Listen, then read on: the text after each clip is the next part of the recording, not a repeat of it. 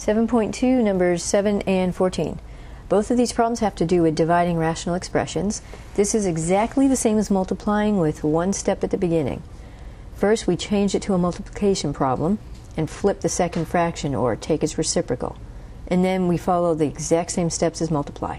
Factor, cancel, multiply across numerators and across denominators.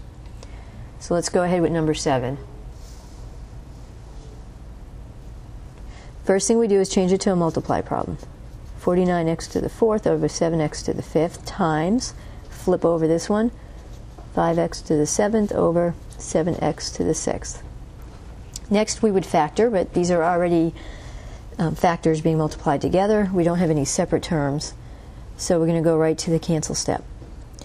So let's see, we've got 7 and 49 both contain a 7, so let's divide by 7 top and bottom leaves us a 1 and a 7.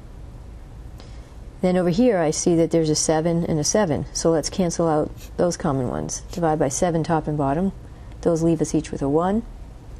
And then for the x's, here we have x to the 4th, x to the 5th, so let's divide by x to the 4th top and bottom. Leaves us 1 on top. Leaves us just an x from the x to the 5th. And then we have x to the 7, x to the 6th, and that leaves us, if we cancel out the x to the 6, it leaves us 1 on top. And then these x's here cancel out, 1 top and bottom. Those are gone. And we're left with a 5. And nothing on the bottom, or just 1. So the answer is 5. So that's number 7. Let's take a look at number 14.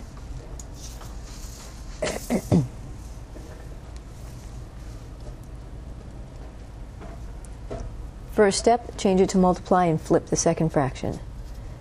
So we have w squared minus 3w minus 10 all over w squared minus 4w plus 4 times, flip it, or reciprocal, w minus 2, w minus 5. Now we have separate terms, so we're going to try to factor. So factoring the first one, it's a trinomial, so go for the binomial factors. We have W and W.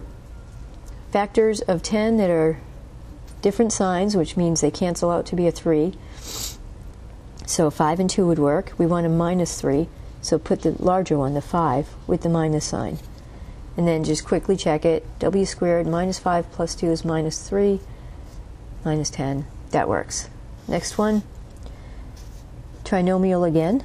So we go W, W, same signs that are negative and they have to be factors of 4 that add up to negative 4, so we're going to use 2 and 2. w squared minus 2w minus 2w is minus 4w plus 4 checks out. And the next two we can't factor, so we're just going to leave them like they are. Now we start looking for common factors. w minus 5 top and bottom is gone. w minus 2 top and bottom is gone. w plus 2 over w minus 2. And we're going to stop here because we don't want to go in and cancel the w and the w or the 2 and the 2 because they're not factors. They're separated by a plus or a minus sign from another piece, which means they are separate terms. And we never want to cancel something unless we can factor it out. So we stop right there.